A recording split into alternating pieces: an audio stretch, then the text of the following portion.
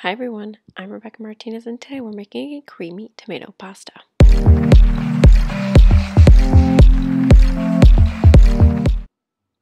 To begin, start boiling or pour over some really boiling water to one cup of raw cashews. I do this in a plate and let it simmer and boil for about 20 minutes to an hour to get those cashews really nice and creamy.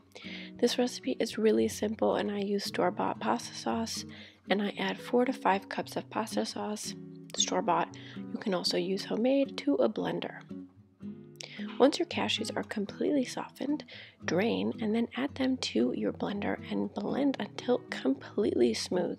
You don't want any cashew chunks, that's why we parboil them. You can boil them on the stove or have them hang out in some boiling water, mm-hmm. and then cream them until they're a nice creamy tomato consistency. It will turn nice and pink, an orange hue.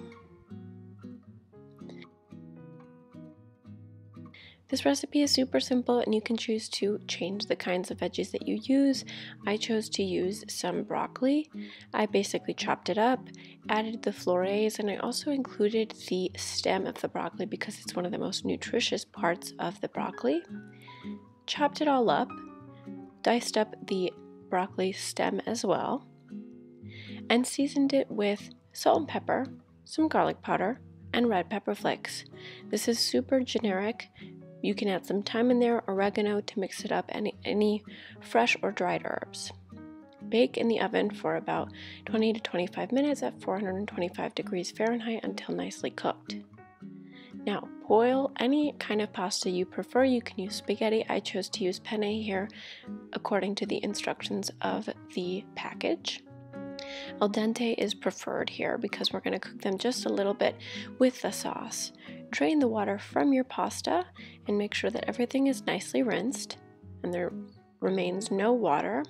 And to the same pot, add some regular red tomato sauce. I had some extra, or just use the creamy tomato sauce. Either way, it still ends up being pretty creamy. And mix all of your penne or regular cooked pasta in that sauce.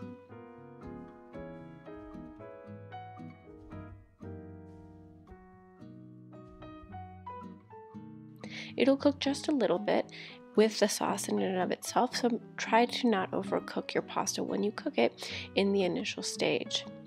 At this point, you can add additional vegan parmesan or keep it as is, but because this recipe is super simple, I like to keep it just with the cashews and the creamy tomato sauce.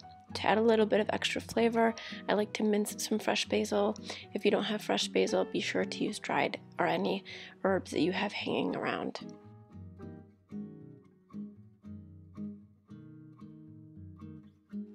I then plated it. I add some broccoli, the penne, additional basil because that's my favorite and I enjoy. If you like this recipe, be sure to subscribe to the channel for more and let me know in the comments what else you'd like to see. See you next Friday.